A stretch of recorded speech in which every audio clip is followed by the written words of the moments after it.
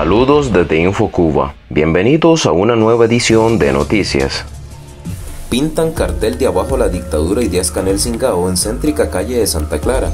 Los esbirros de la policía cubana se están quedando sin recursos y sin modo de frenar la lucha cívica y clandestina. Un usuario en Twitter posteó un video donde se muestra una pared raspada por fuerzas represivas del régimen, pero en lo cual todavía podía leerse la consigna. Intentaron raspar y tapar el cartel en contra de la dictadura.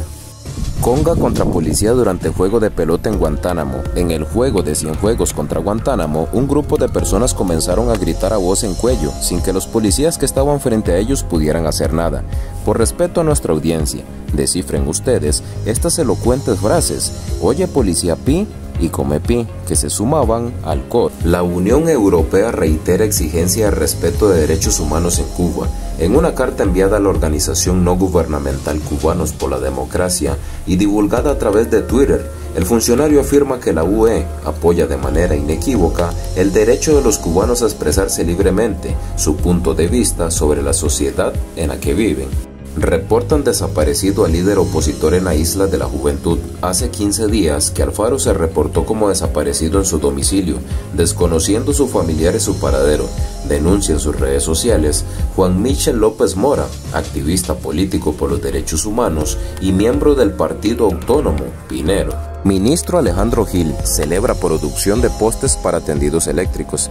Este es un ejemplo positivo de lo que se puede hacer con las medidas aprobadas para dotar de mayor autonomía a la empresa estatal. Si se buscan soluciones se encuentran, escribe el funcionario en su cuenta oficial de Twitter. Al tuit de Gil Fernández respondieron numerosos internautas con críticas sobre su gestión y sobre la falsa importancia de la producción de postes cuando en el país escasean los alimentos y las medicinas más básicas.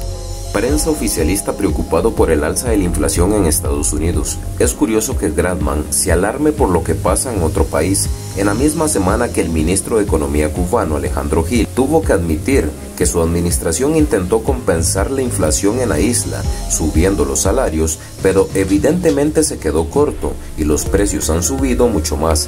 Mientras el periódico precisa que en Estados Unidos la subida de los precios relativos al sector de la energía y los alimentos fue de un 0,9%.